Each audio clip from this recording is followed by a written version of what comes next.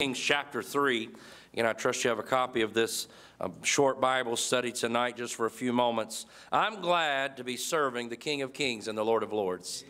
Uh, our, our, this, this morning, or one of our sessions today, when we are getting ready, I guess the only session we had today in soul winning, uh, Brother Kevin Mooring gave it a little challenge, and he talked about the fact that, you know, Solomon uttered those words that all is vanity, vanity, all is vanity as nothing uh, seemingly had any meaning to him under the sun. But in, when we're in God's family, God's work, our life is given a great purpose. Great purpose. I mean, what would I be living for if I wasn't living for Jesus? A very, a, a, whatever it would be, would fall so far short of what I, what I have attained to through the grace of the Lord Jesus Christ to have the opportunity to do now. What you and I have the opportunity to do is a great, great thing. And the challenge, sometimes the challenge for us is to just kind of maybe to, to kind of grab, try to grab a hold of the reins maybe pull up a little bit. Slow down the momentum. Uh, take the path, the well-worn path, or you can see the ruts very easily and you don't you won't get lost and nothing's grown over. We're going, many people walk this way, and I understand there's a, a good reason for that at times as we try to walk in some paths have been made for us. But what I want to do is exactly what God wants me to do, and I want to attempt some great things for God. I don't know how you feel about it. Maybe maybe gotta maybe have to encourage yourself in the Lord just a little bit about that. It'd be real easy to rest on what's been accomplished for the last 28 years in this church and kind of ride this thing out to glory, or we could just allow God to continue to build things on the foundation that's been laid and accomplish more for Christ. I say we're here. We're breathing God's air. We might as well get something done for the Lord. Amen. We might as well attempt things. By the way, we must be yielded to God. Must be in His will. We don't try to accomplish for the sake of accomplishment, for the sake of making a name for ourselves, for the sake of making ourselves feel good, like we're getting, like we are getting something done. I want to be in God's will completely, but I want to launch out and to see what God can do with my life. I'd like to Him to see, like to see what He could do with our church as we'll continue to take the risk of faith, the risk of faith uh, to see more accomplished for Him. And it's interesting how that works. And you think about it, even as a church like this was begun, uh, my, my dad and many of those that came along beside him and our, our family, thank God for people that are still in this place after all those years. But there was, it was new. It was, all, it was like it was the pioneering level of all of it. It was, it was new. We, we were talking today about the Ruritan building over there. And uh, Ben was Ben said we, he, he looking at some buildings in Newport News. We're still praying about what all is going to happen over there, where they're going to land, where they're going to be as far as meeting eventually. Still praying. I'm still praying about Dozier Middle School, by the way. I'm not giving up on that. Anyway, just want to get that in there. But but we said something about some community building. He said, and he said, I've heard that starting a church in a Ruritan building might work. I don't know. I heard it might work. I said, well, I don't know if that building had much to do with it. Yeah. But thank God it was there and uh, it was available to us and many other people too who made themselves known there. At least they had the rudiments of what went on there were left behind for us to, uh, to observe and not, not so much enjoy. Anyway, my point is this there was a pioneering part was a little more exciting. It would maybe in, in a sense that, but somehow in every generation of this church, we must maintain that spiritual edge. In every generation of this church, we must find a way to maintain that spiritual edge. May there always be a group of pioneers in this group of believers. I'd like to think all of us could sign up for that. If we think it requires physical energy, maybe, maybe we will fade. I think there's a lot more to it than physical energy.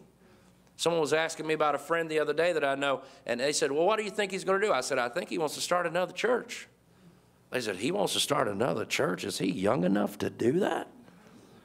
I said, Well, I don't know if he is or not. He looks like he's in pretty better shape than I am, but, uh, but he wants to start a church, I believe, and if he does, I want to help him. And I, I just think if God calls him to do it, he's going to get it done. I, I know that there's a level of physical energy required in some things, but we need this, the energy of the Spirit of Almighty God just to keep on going. I'm giving, I, typically I start with the Bible, but it's a little different effort. I've tried to explain that to you on Wednesday night where I share some things from our heart. Typically, we've been studying prayer. I'm going to get back to that. We had a wonderful lesson on prayer in the Sunday school hour this past Sunday. I hope you were part of it. And uh, we're getting ready to move into a study of uh, 1 Peter now, strengthen thy brethren, for the next several weeks. But uh, prayer is important. We'll get back to that, but I cannot ignore where we're at and what we're doing. I cannot ignore what we're doing. And thank God for the, the, the fact that our church is helping to start another church. And uh, we talk about this. Maybe you're tired of hearing about it, but you're going to have to hang in there a little bit longer, maybe a few more years. We're going to keep talking about it because we're excited about it. And you are excited about it. We all are. I don't think anyone's uh, tired of it. Their feet may be tired from walking the streets the last few days. I told, uh, I told Ben and, uh, and Caleb this morning, we were out at Dozier Middle School, had a chance to get in and look at the place. I said, you know, I'm walking down the sidewalk. I can't say that my feet hurt, but they don't feel the same as they did uh, two days ago. They don't feel like they did on Sunday. They feel different today on Wednesday because we've walked a few miles since then. What am I trying to say? It's, there's an excitement about being on the edge of doing something. I think here in First, in Second Kings chapter three, I just want to remind us about that. Uh, we've studied this together before, but it's an interesting thought here. In First Kings chapter 3, in verse 14, Elisha here is, is dealing with these kings. And in verse 14 of 2 Kings chapter 3, if you're there, say amen, please.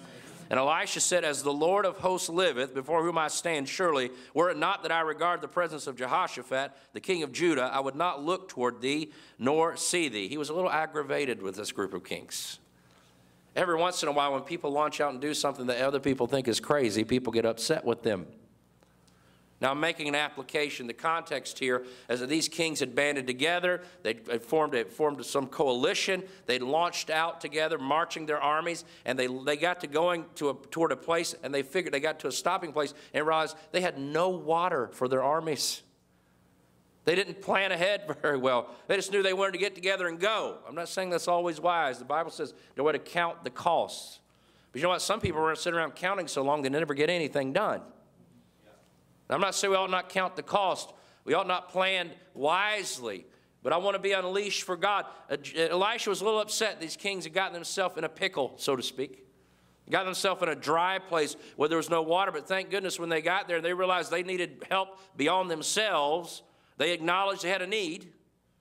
Sometimes we're so foolish to think we, we don't have a need, uh, but they acknowledged the need. Thank goodness they, they, even I don't have time to read it, but they bowed and asked God for some help. They looked to God for some help. Jehoshaphat helped them with that. They agreed with God about what was going on in their situation there, and they, uh, God allowed them to attain a victory in this chapter, we see that, but it started because they launched out in a direction and they got themselves in a corner where there was no water, and all they could do was ask God for help, and God sent God's man. That's what's happening here. Verse 15. Now he says here, Now bring me a minstrel. And it came to pass when the minstrel played that the hand of the Lord came upon him. This is Elisha. He was upset with these fellows. He wasn't happy with them. And he needed someone to come calm him down just a little bit.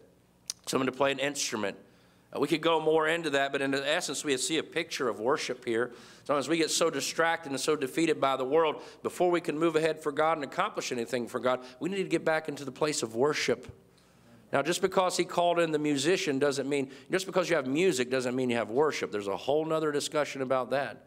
We've, studied, we've studied worship in the melting pot in Sunday school this past several weeks, and I'm very glad of it. Very glad of it. I want us to understand whether we're 100 years old in this church or as, as, young as you can be with any comprehension about the fact that we're trying to worship God according to the dictates of the Bible, not according to what I like or what you like or what the world might like or what another Christian might like. We want to do what God likes. We want to do what God likes. And by God's grace, as long as I'm the pastor, as far as I can tell what God likes, that's what we are going to do.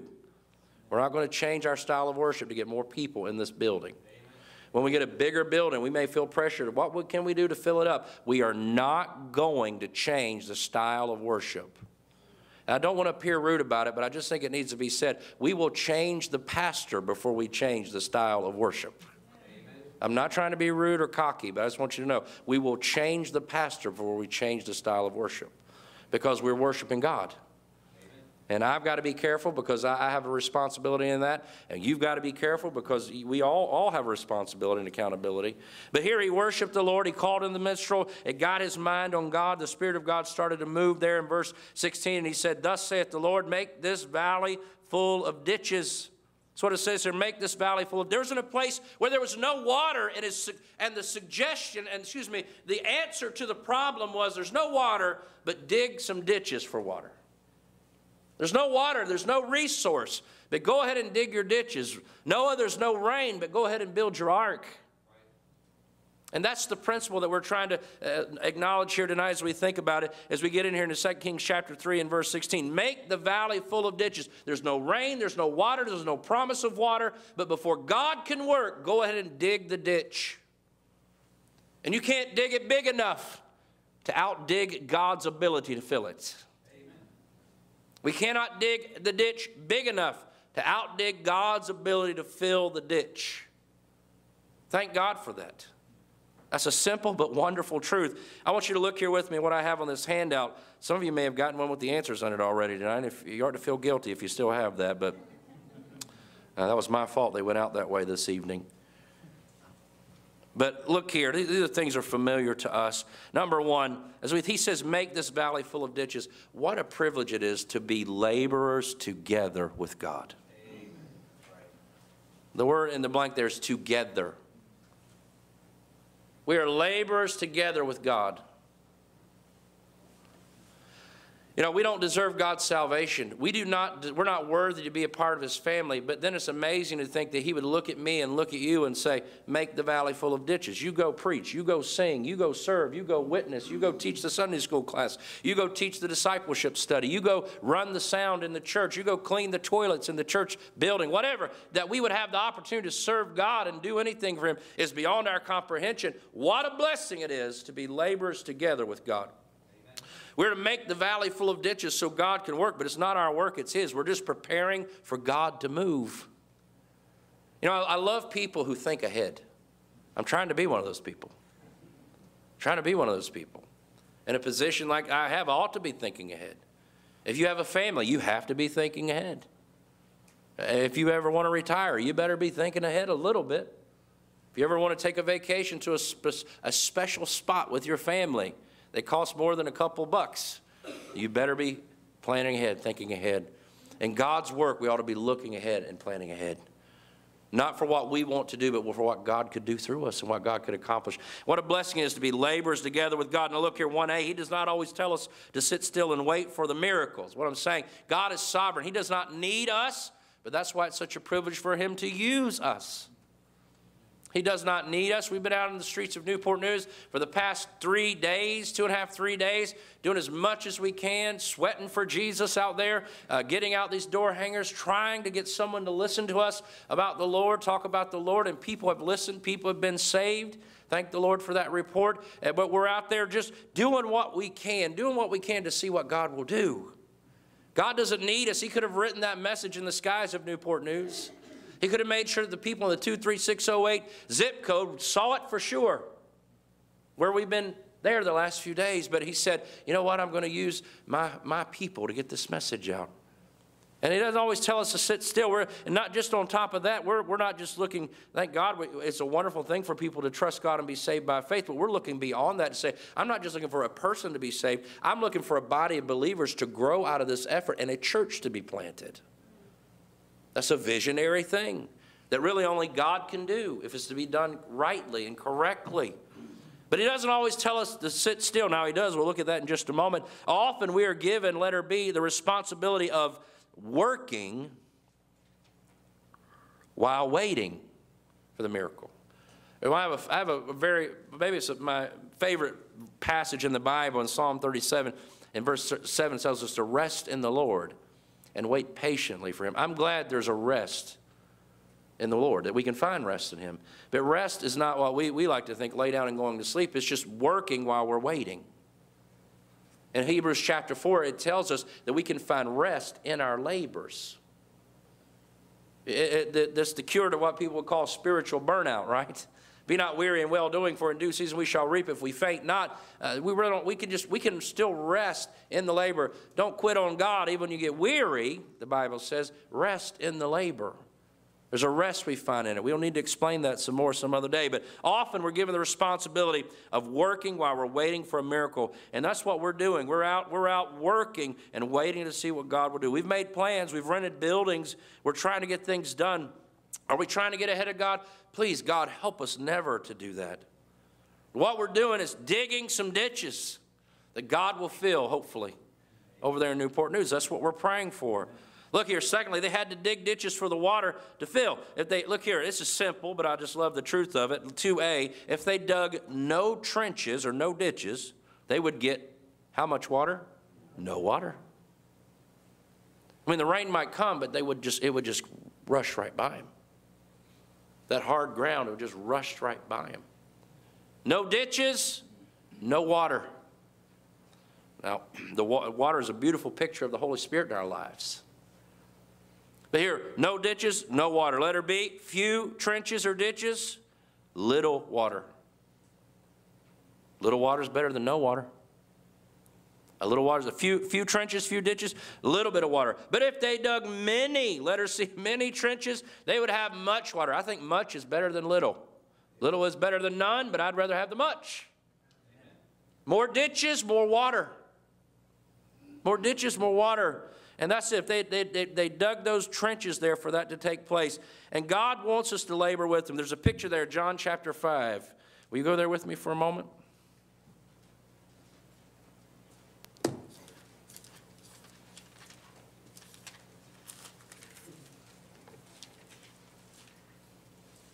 Trying to see if Micah's there yet. He's there. I got there first, buddy. I just want you to know that. We have a little friendly competition on the Wednesday night Bible study. How many of you consider yourself adept at the art of Bible sword drill, getting to a passage quickly? Micah does. And there's no, hum- there's no humility in that hand I see right there. That's all right. That's probably because I've challenged him so many times. But anyway, John chapter 5, verse 5, a miracle of the Lord Jesus Christ, and a certain man was there uh, they're there by the pool of Bethesda. A certain man was there which had an infirmity 30 and 8 years. When Jesus saw him lie and knew that he had been now a long time in that case, he saith unto him, Wilt thou be made whole? What an interesting question. Of course. of course, I'm, I'm right here waiting, to, waiting for something to happen. That would be my answer. Wilt thou be made whole? The impotent man answered him, Sir, I have no man when the water is troubled to put me into the pool. But while I'm coming, another steppeth down before me. And you remember the pool there, the first, when the waters were stirred, the first into the pool would receive the healing. And he, he just could not get there. Jesus saith unto him, Rise, take up thy bed, and walk. And immediately the man was made whole. There's something missing there between verse 8 and 9 in a sense. It's not really missing, but the implication is that he believed what Jesus said and he got up. He did something.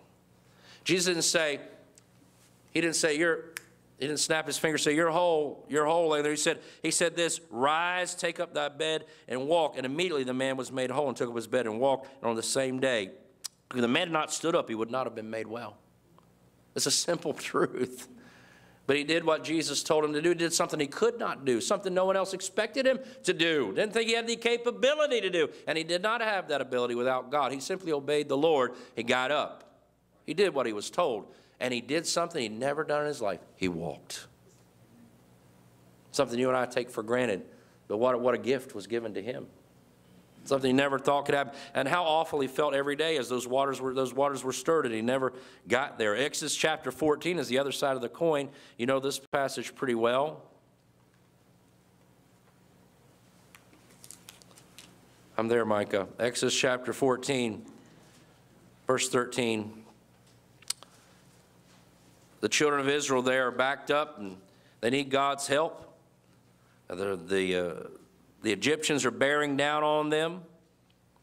The Red Sea and all this taking place. And in verse 13 of Exodus 14, and Moses said unto the people, Fear ye not, stand still and see the salvation of the Lord, which he shall show to you this day, to you, to you today. For the Egyptians whom ye have seen today, shall you see them no, again no more forever. The Lord shall fight for you, and ye shall hold your peace.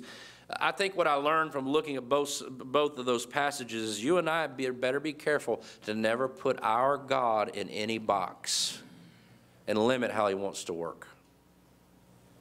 There are times when he may say, stand still, and we ought to be listening to the Lord. But I, I have to say, in my own heart, I get pretty excited when he says, go ahead and dig some ditches. I love that. I love that idea that we can, we can move ahead and God will come behind uh, because he's commissioned us and do the work.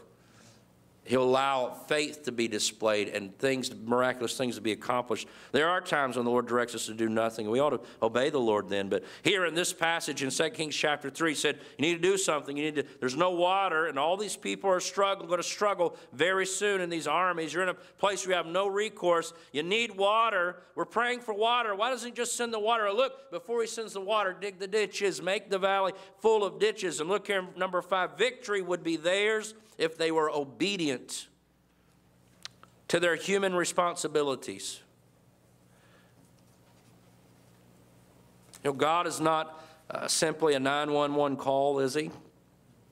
He's certainly not a spare tire. We were speaking of that recently. And, and so we ought, we ought to be obedient to God in a regular way, is what I'm trying to say. Consistent, regular obedience to God over our life will produce the most amazing results.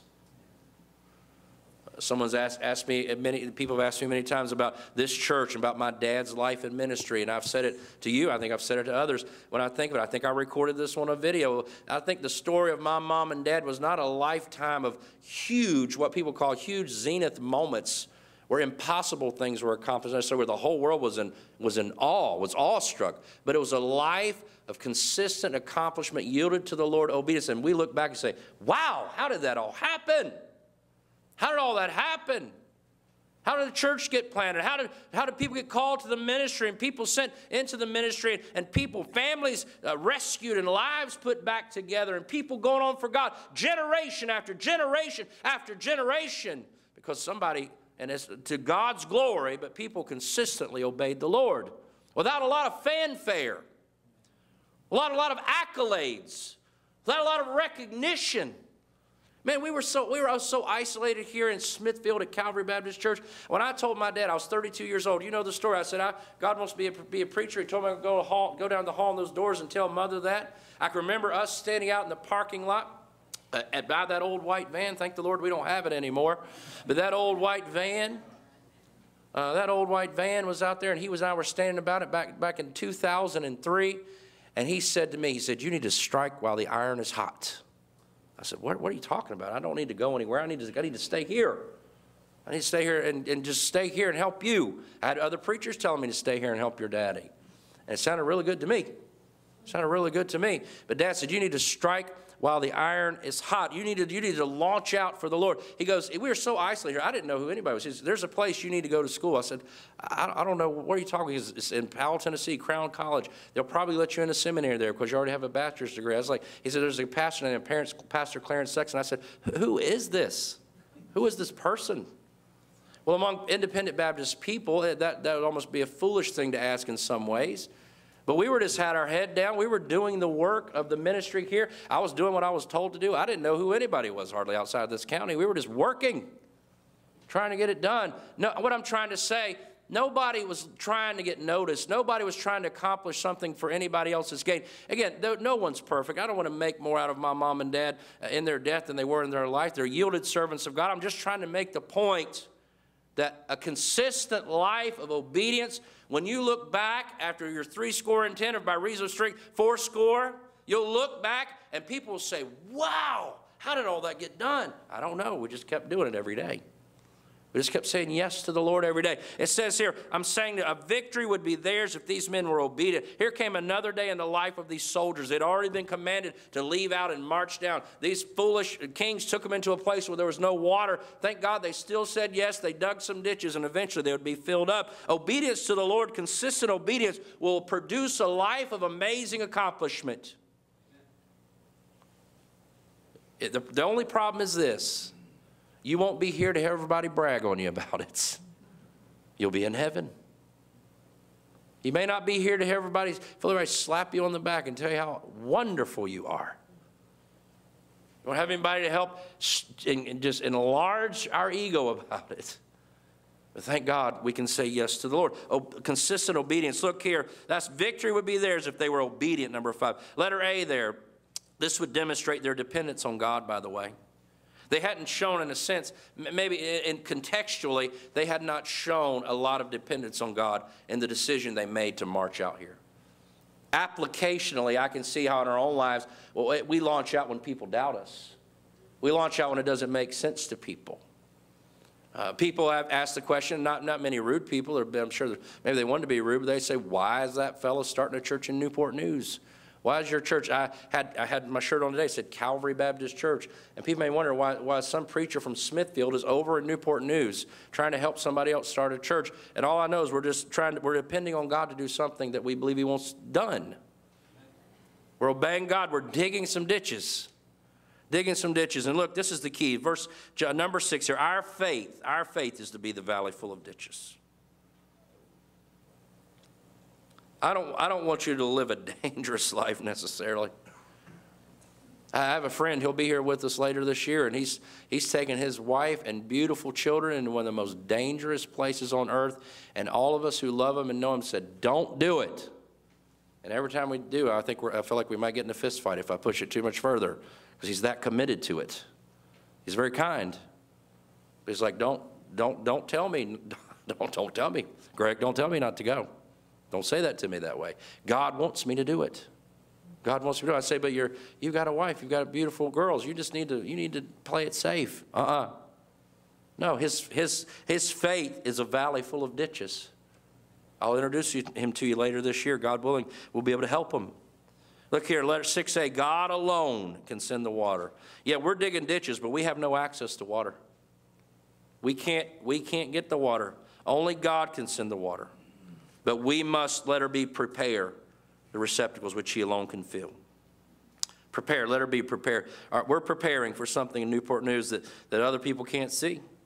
And we believe that God wants. And let her see if you dig the pits, the water of the word will be retained, retained in your heart. The water of God will be, what I'm saying is the, the rain will come and we will be able to have a reservoir to draw from, to be nourished We'll be able to have a reservoir as a resource uh, to, to help ourselves serve God and be able to get God's work done. I don't know about you, I'm excited about making the valley full of ditches. The challenge for us for the rest of our life and ministry in this church is to keep our shovels ready and to keep digging ditches for the Lord. I've already told you, I'm, I'm, and I talk to these men about all the time. I'm thinking already, where will we plant another church? And who will God send to start that church? Who will be the pastor and where will be the place? I'm ready to get back to praying that prayer. I'm ready to get back to praying that prayer because I just want to make the valley full of ditches. May God give us faith that you need that in your home, need that in your family. Uh, we need that in our personal lives. And by all means, we need it in this church. Amen? Amen? Let's ask God sincerely to give us that spirit here. I don't ever get to the place where we play it too safe. I don't ever want to be foolish. Uh, I don't want to I don't want to hoard up money here. I don't want to save it for a rainy day. I want to be wise. We have contingencies in our funds. But I want to I want to be able to I want to be able to let God even have that. Yeah, it's all his.